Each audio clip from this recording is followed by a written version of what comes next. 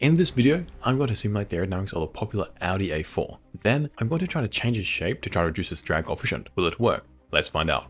The Audi A4 is one of the lowest drag cars on the market today, so I wanted to see how hard is it to make it even lower drag?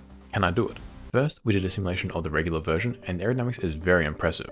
For starters, the front is even a little better than the Audi R8 in that it is less blocky, so there is less decelerated flow, and so not as much high pressure, but also the front of the hood is pretty good in that it doesn't accelerate the flow too much, and so the low pressure zone you usually get is not that bad. That is much better for reducing the lift.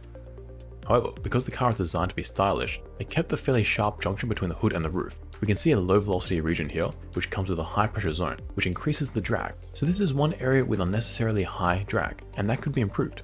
Like other cars we've seen, that sharp junction just naturally leads to a sharper junction at the front of the roof too, which also comes with a low pressure zone. In fact, from a lift point of view, this roof is pretty bad. If this video were about fixing the lift of the A4, this would be the region I'd focus on first. But fortunately, it doesn't affect the drag that much, so we can move away from it.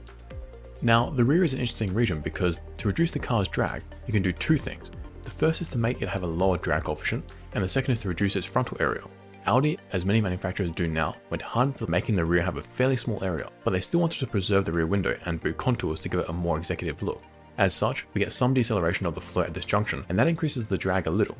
Then in the rear, we see a very small wake, and this is the main drawcard of the A4. We get a very small rear and a pretty low drag coefficient too, so the overall drag from this region is very low. That's great, because that is the main contributor to the drag of this car. So Audi has done a great job targeting this area. The underbody generally is very good too, because the flow stays attached almost completely over the front nose, so we still get good low pressure for downforce, but not so much drag. Audi actually does a really cool trick to get that floor attachment and that is by using this very small air dam. How this works is without it, the nose is very sharp, so as we have seen in other simulations, it is very likely that the flow will just separate as it comes over it. So by putting this tiny air dam here, they do two things. The first is that it creates this virtual buffer where you have this combination of some air hitting it, slowing slightly, and that provides a cushion for other air to race around that lip without separating. The second thing is that you also have effectively a thicker front lip, but just in a stepwise fashion, which also reduces the separation. It's a really cool idea, and a different solution to the one I proposed two weeks ago with the Infiniti Q50. Both work very well, but in very different ways. On our Patreon, I also look at how a larger air dam on this car works, and you can find the results along with a bunch of other car simulations on our page there. And the larger air dam really affects the entire car's flow at the front. Now, Audi does have front wheel spoilers on this car, but they have cleverly developed them to mold into the underbody instead of just sticking out like flat plates and from on top, we can get a good idea as to what they're actually doing. So you can see at the front, the flow blows out and that creates wakes and drag, which is bad, but it is the lesser of two evils because by blowing out the front like that, you starve the front wheels of high velocity flow, which reduces their wakes. And the front wheels usually produce far greater wakes than these smaller ones from the spoilers, so overall, these spoilers actually reduce the drag. The rest of the underbody flow is good, it stays attached, so that is low drag and also good for producing downforce.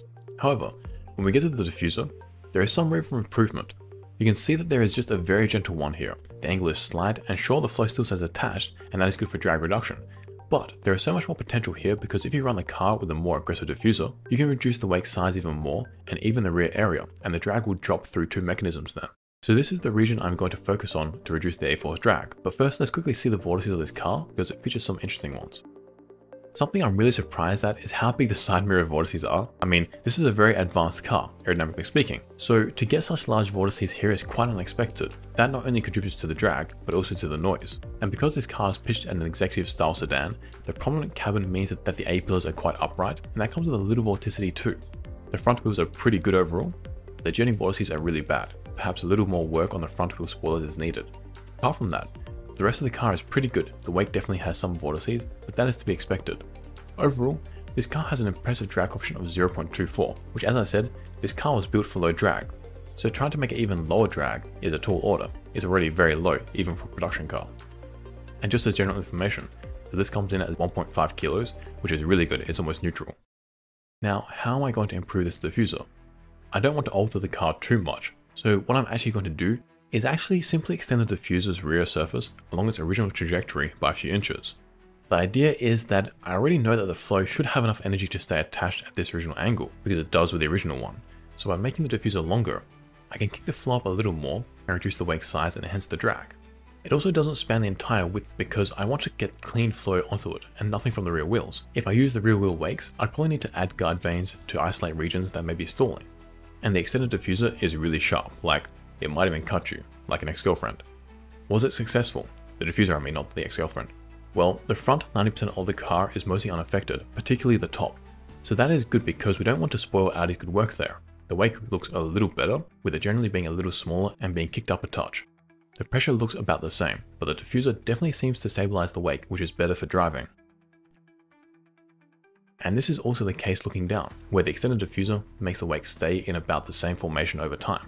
And from on top, the extended diffuser is producing higher pressure closer to the car, which agrees with the conclusion that the wake is smaller here, so that should be good for drag.